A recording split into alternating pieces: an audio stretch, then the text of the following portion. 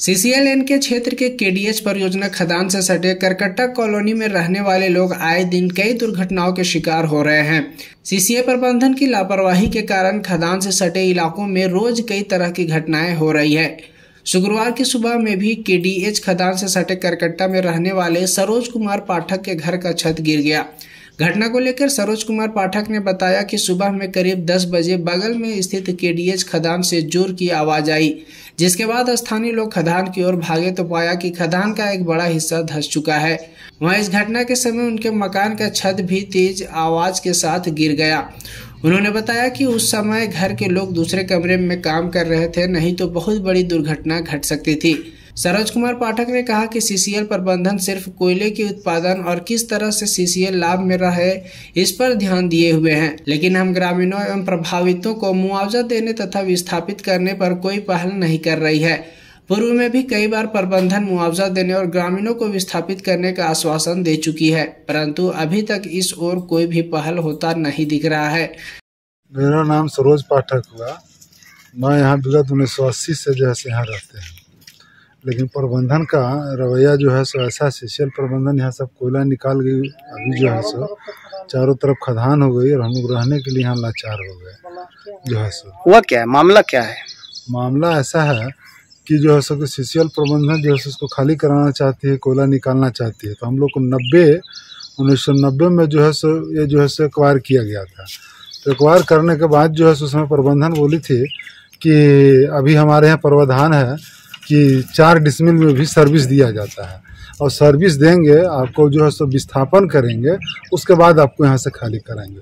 उस समय से अभी तक हम लोग जो है सो यहीं पर रह रहे हैं अभी तक ना हम लोग को विस्थापित किया गया है और न नौकरी दिया गया है न किसी प्रकार का कोई जो है सो सुविधा दिया गया अब धीरे धीरे ऐसा हो गया है कि यहाँ रहते रहते अब ऐसा स्थिति आ गया है कि घर जो है सो सब गिर रहा है आज जो है सो अभी एक घंटा पहले जो है सो पूरा छत जो है सो अटेंडम गिर गई हम यहीं पे खड़े थे बाहर में जो है सो बहुत ज़ोरों से आवाज़ हुई तो गए देखने तो देखे तो पूरा घर जो है सो बैठ गया है और पूरा जो है सो स्थिति जो है सो ये है दयनीय है। अगर आदमी वहाँ कोई होता तो बचने का कोई जो है सवाल नहीं। वहीं केडीएच खदान के समीप रहने वाले हरेश सिंह ने बताया कि इस खदान के धंसने से आसपास के लोगों तथा राहगीरों में दहशत का माहौल बना हुआ है। आसपास रह रहे ग्रामीण दहशत में जीने को मजबूर है। उन्होंने बताया कि पूर्व में कई बार क्षेत्र में भू धसान की घटना हो चुकी है, जिससे लोगों को काफ़ी नुकसान पहुँच चुका है। खदान से सटे क्षेत्र लगातार नीचे धसते जा रहे हैं, जिससे कभी भी कोई बड़ी दुर्घटना हो सकती है। उन्होंने बताया कि यहाँ रह रहे लोग प्रबंधन की लापरवाही के कारण मौत के साय में जीने को मजबूर है। शुक्रवार को भी भू धसान के बाद जहाँ ज़मीन धस गई, वहीं खदान से धुआँ का गुब्बारा और धूल गर्द लोगों के घरों में जा घुसा। हरेश सिंह ने बताया कि खदान में आग लगी हुई है, वहीं खदान से निकल रही जहरीली गैस से लोग कई गंभीर बीमारी के शिकार हो रहे हैं। करकट्टा के ग्रामीणों ने सीसीएल प्रबंधन से जल्द से जल्द मुआवजा देकर सुरक्षित स्थान पर विस्थापित करने की मांग की है। हम जो अभी खड़े हैं के डी खदान के जस्ट किनारे करकट्टा उत्तरी और पूर्वी छोर पर हम्म। यहाँ बाउंड्री दिया हुआ है जो देख रहे हैं भूधासान के चलते धंस गया है नीचे आग लगा हुआ है। और गर्मी तो कैसे हम लोग बर्दाश्त किए मुश्किल से दस डेक पर घर है। इस ये प्रचंड गर्मी और उसमें ये आग का लपट झेलते झेलते और जो अभी भूधासान आप इसमें देख रहे हैं इतना ज़बरदस्त उड़ता है जो ये मोहल्ला पूरा ढक जाता है इसके अवशेष से। और आग नीचे नीचे लगा हुआ है। हो सकता है किसी दिन पहले तो मेरा घर हरेश सिंह मेरा नाम है मेरा घर के डीएच खदान में चला जाएगा और फिर ये मोहल्ला तो बाद में जाएगा ही जाएगा। इतना आग लगा हुआ है इतना धुआँ उठ रहा है वीडियो है वो तो सब लोग देखते हैं किसी से छुपा हुआ नहीं है। हम्म, हम्म, हम्म। तो समस्या तो विकराल है। अब तो किसको क्या कहें? समाधान चाहते हैं आप? अब हम लोग क्या समाधान करें प्रबंधन खुद समाधान कर रही है इसे आगे भी लोगों को पैसा दे दे करके हटाई है। कॉलोनी बनावे पैसा दे के हटावे। प्रबंधन के द्वारा कहा जा रहा है कि हम मतलब कि यहाँ का नापी उपी हो चुका है कुछ लोगों को हम पैसा दे चुके हैं। इस पर क्या विचार है? देखिए प्रबंधन इससे पहले भी लोगों को करकट्टा में भी हटाई है एक लाख रुपया पर हेड दे करके।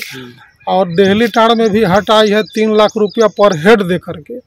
तो जब यहाँ के लोग प्रबंधन से डिमांड करते थे जो नहीं हमको इतना दीजिए जो भी मांग पब्लिक का था तो प्रबंधन उस समय कहा करते थे यदि कहीं कोई सबूत है कोई दिया है तो आप हमको सबूत दीजिए हम देंगे। तो अब तो परफेक्ट सबूत है जो आप ही तीन लाख पर हेड दिए हैं। तो अब इसमें अब क्या कहना है? इससे बड़ा सबूत और क्या हो सकता है? तो पब्लिक को किस ढंग से डील करेंगे तो प्रबंधन ही समझेगी। पब्लिक तो मांग करते ही रहती है और करते ही रहेगी। तो, तो उसको व्यवस्था ढंग के चाहिए। हम्म, हम्म, शुरू शुरू में हम लोग बोले थे जब पैसा नहीं दीजिए कॉलोनी बढ़िया बना करके ना प्राइवेट देखिए ना सीसीएल बसा दीजिए। हम्म, तो उस पर तो कोई सुना ही नहीं। पैसा दे के लोग के हटाने लगे। तो प्रबंधन क्या करेगी कैसे करेगी हम लोग तो कह ही नहीं सकते हैं आपके माध्यम से। हम्म, हम्म। सुबह ये ये कितने समय धसा है ये? वो जो वीडियो है उसमें टाइमिंग होगा। वीडियो भेजा है बता उसमें दीजिए। होगा फिर भी कुछ मिनट में हुआ हाँ लगभग लगभग वही टाइम होगा। अच्छा। तो उतना तो हम लोग ने पढ़े नहीं जैसे ही गुब्बार उठा फटा फटा आदमी जिसके कैमरा से हो सका दो चार आदमी खींचे। हम्म, बहुत आदमी के कैमरा नहीं चलाने आता है तो बढ़िया से नहीं आया। इनके अशोक भैया के कैमरा बढ़िया था इससे आया। तो हम लोग किसको कहेंगे? हम्म, हम लोग का बात तो पत्रकार भाई बंधु लोग सुनते हैं। किसको कहने जाएँगे? कोई सुनने वाला नहीं है। तो हम लोग आपके पास रखे हैं। अब आप लोग किस ढंग से प्रबंधन के अभी भी देख रहे हैं कैसा लहर मार रहा है। हम्म, हम्म, हम्म। तो गर्मी भी और लहर भी और भूधसान भी डर भी ऊपर से डस्ट भी अवशेष आता है। सर्दी खांसी बीमारी परिवार को दमा के बीमारी है वो आए दिन परेशान रहती है।